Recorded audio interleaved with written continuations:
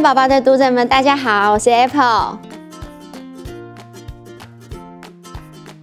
我冻卵其实是我现在的老公给我的观念，然后我觉得我冻卵时间其实已经算晚了。我觉得冻卵的时候其实是蛮痛苦。因为它就是要打很多的针剂，而且也要看你当时身体的状况。那如果你比较年轻开始冻卵的话呢，你可能只要冻一次，你的颗数就会很多。但因为我是比较年纪大才开始冻卵，所以其实我冻的颗数比较少，以及我就要冻比较多次，所以就会更辛苦。所以希望如果要冻卵的女生要早一点冻卵。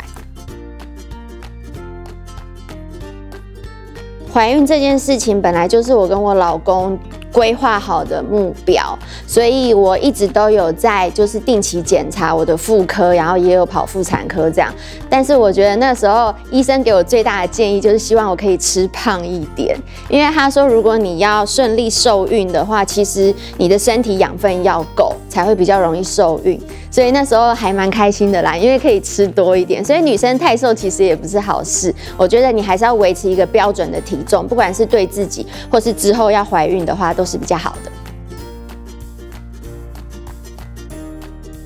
同期，就像我周遭很多女艺人朋友们，其实她们也都是差不多这个时间怀孕，然后她们好像也都会跟宝宝说话。但是当我自己在家里的时候，我都会词穷哎，所以我现在最常跟她说的就是，譬如我可能觉得哦，我今天可能站太久或者走太多路，我就说哦辛苦了，八宝，那个辛苦你了，或者是跟他早安晚安，最常就是说这些，其他